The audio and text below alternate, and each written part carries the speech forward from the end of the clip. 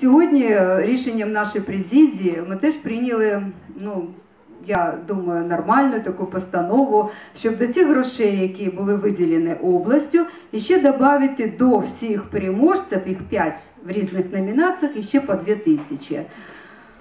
Так що бажаю всім бути переможцями, щоб ви завжди залишалися такими креативними, молодими, усмішними. Ви знаєте, треба бути учителю оптимістом.